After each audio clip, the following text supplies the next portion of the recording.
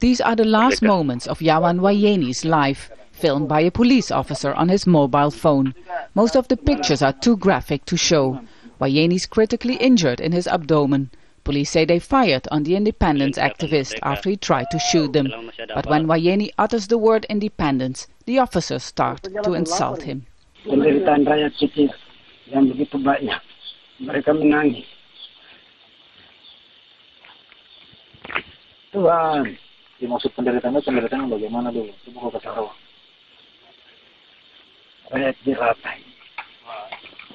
Iya, kita tahu. Tuhan tidak akan mengabulkan kau kau punya permintaan. In a phone conversation, his widow says that her husband was killed by masked policemen outside his house. She says he wasn't carrying a weapon. The police say Wayeni was part of an armed separatist movement and wanted for several attacks. My deceased husband jumped from the house when he saw the troops approaching, while the family stayed behind. We stayed inside until they took us, and when we turned around, we saw my husband with his intestines hanging out. Shortly after the killing, which took place a year ago, local human rights organization KontraS demanded an investigation. Nothing happened. Now, with the video of Wayeni's ordeal circulating on the internet, Papua is again in the headlines. the way police treated uh, Yawan Wayne before he died, it shows how racist uh, police apparatus in Papua, and also it shows uh, how easy uh, police apparatus treated uh, Papuan inhumanly and degrading their dignity. And this is against international law. This is against Indonesian constitution. This is against national law.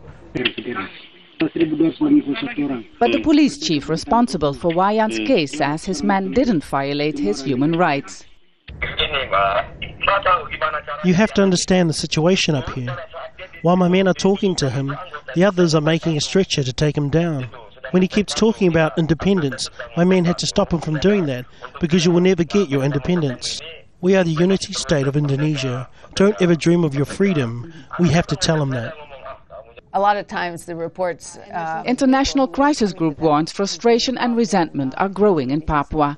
The advisory group warns if not handled properly, the situation could easily explode in violence. I think we're already seeing the, some of the radical organizations demanding independence gaining more influence.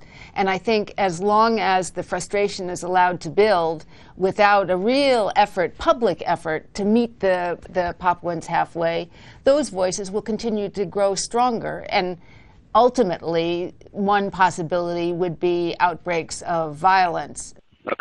Human rights groups say peace in Papua can only come when the government starts dealing with past abuses. Abuses such as the killing of Yawan Wayeni. Step Vassen, Al Jazeera, Jakarta.